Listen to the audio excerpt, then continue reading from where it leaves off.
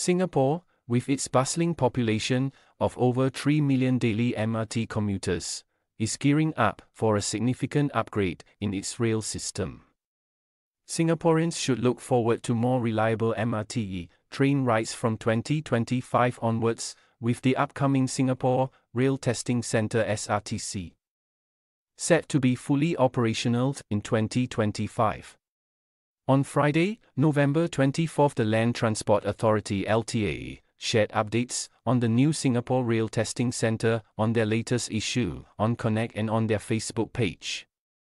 The driving force behind the SRTC is the need for enhanced maintenance and testing protocols as the 260 km rail network continues to expand. The current challenge is the limited time window for testing. Given that trains run from 5:30 a.m. to almost midnight. Additionally, the evaluation of new train models, often tested overseas, can take several years before reaching Singapore. The SRTC is poised to revolutionize this landscape. One of the key advantages of the SRTC is its ability to conduct train testing around the clock, replicating actual operational conditions. This is made possible by dedicated tracks that mimic passenger lines, allowing for more comprehensive testing away from main routes at any time of the day. The facility, located in Tuas, has three purpose built tracks. An uphill gradient for testing train endurance, an S shaped track for performance and integration assessments, a straight high speed track for speeds up to 100 km per hour. These tracks are designed to accommodate all types of signaling and communication systems, ensuring a seamless testing environment for new trains. Phase 1 of the SRTC featuring the completion of the high speed test track HSTT. Concluded in November.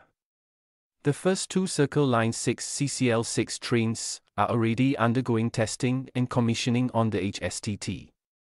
Phase 2 is set to follow and will include the construction of two additional test tracks and essential infrastructure.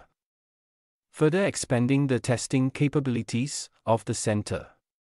A unique advantage of the SRTC is its ability to troubleshoot and rectify faults locally, not just for new lines and trains, but also for existing MRT lines simultaneously.